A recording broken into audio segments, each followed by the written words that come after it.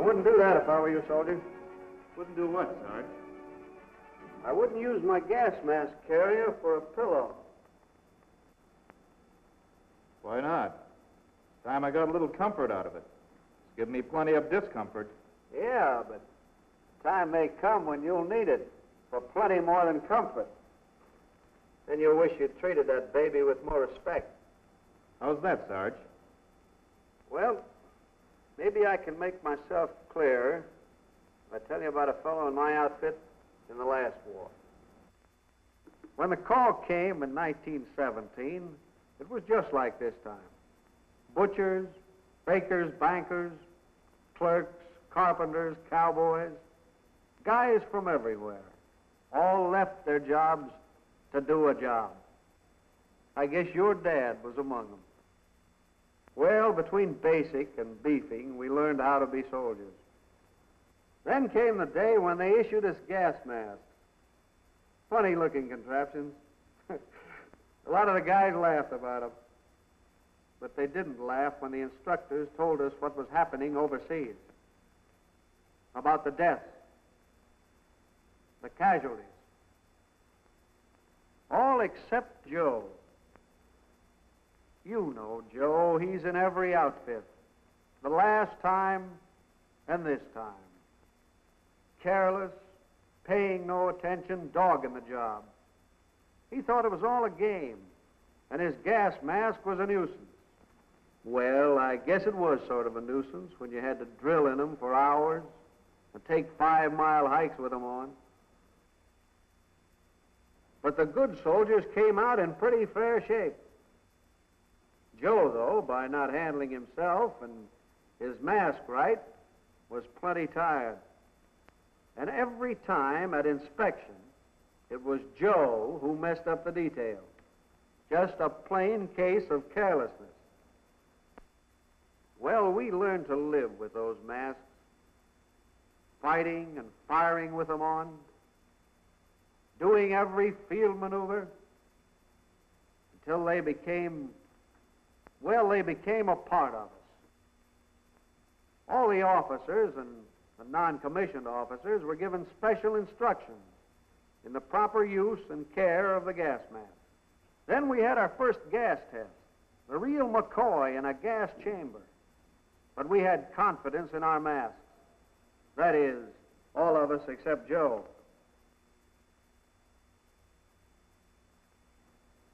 That test made a big impression and gave us a lot more respect for our gas masks. But Joe, as usual, thought it was all a joke. Went on handling his mask as though it were just a piece of useless equipment. They put us through the identification course. We came to know that mustard smells like garlic or horseradish, that lewisite smells like geraniums, and phosgene smells like musty hay.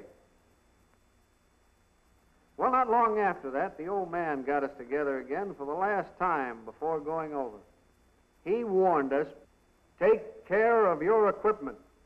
You'll find that your life depends upon it. Then we went over. And after some more combat training, we headed for the front to join the big push. We were warned that the enemy was using chemical agents and to be on the alert at all times for a gas attack. We were sent out on an advance patrol through an area that had been gassed. The corporal knew that mustard gas stays on foliage and ground for several days. He detoured us to the windward to avoid the area. But I'll give you one guess as to who disregarded the corporal's warning and walked right into the woods. Yeah. Yeah, it was Joe. And this time he was in real trouble. Got mustard on his legging, and the corporal had to remove it.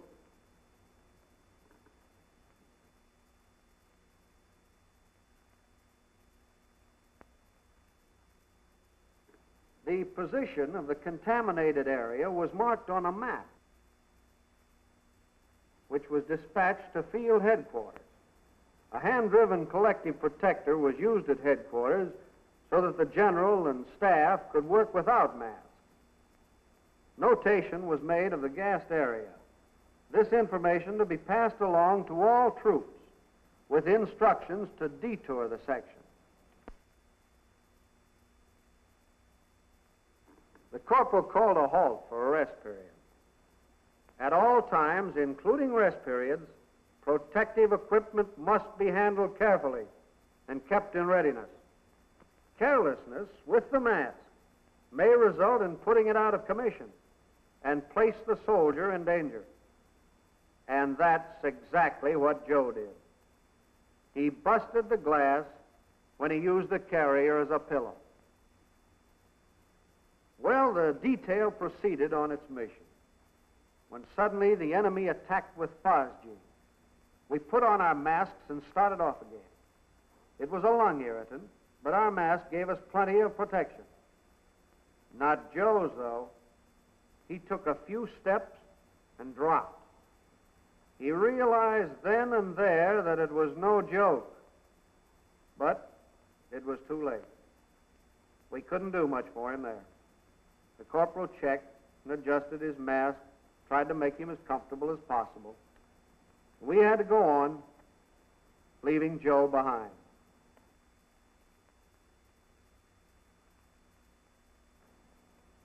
The rest of us completed our mission and returned to the outfit okay. Joe was our only casualty. They brought him in on a stretcher and shipped him back to the base hospital. That's only one case, but there were many more. Joe was only one of the 70,752 men who were gas casualties in our Army alone. Gas was taking its toll right and left. The enemy used it first, so we were surprised and unprepared. With the blitz methods of modern warfare, the danger of surprise is greater than ever. But proper training in the handling and use of protective equipment and the proper respect of the soldier for that equipment will give him protection and enable him to engage the enemy and turn the attack. See what I mean, soldier? I'll say I do. Well, I gotta beat it. Thanks, Sarge, for a story I'm going to remember. That's okay. And another thing. Inspect that mask thoroughly and often. You never can tell when you might need it.